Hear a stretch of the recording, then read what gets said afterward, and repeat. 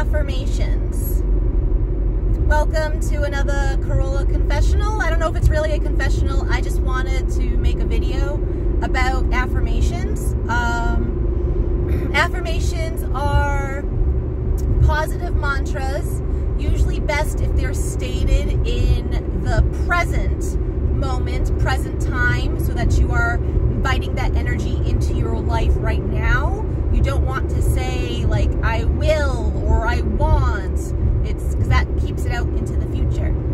Um, but it's to help like change the chemistry in your brain. It's to help produce different thought patterns, even different beliefs. And it's to ultimately change your perception of your life in the world around you, thus opening you up to new opportunities and experiences that you could encounter.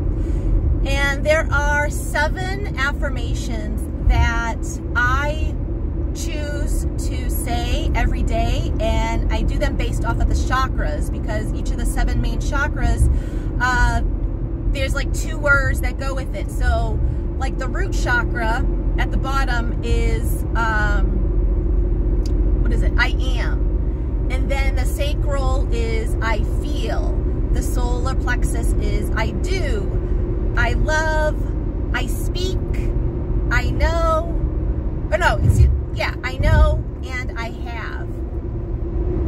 So my root chakra, I say, um, I am abundant. For my sacral, I say, I feel like a multimillionaire my solar plexus, I do work that satisfies me and others, and I get paid so well for it. The heart, I love that so many people book readings and buy products from me. I speak these words and these affirmations into existence.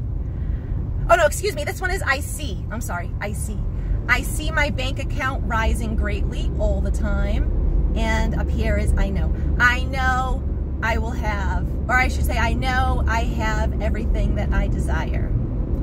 So if you're looking to do some affirmation work, maybe try something like that out, tweak it to what your intentions are, and um, say those to yourself every day. If you want multiple times a day, it's not going to hurt. And see how your life changes, even within a month's time. That's what I got for you guys. Have a great day.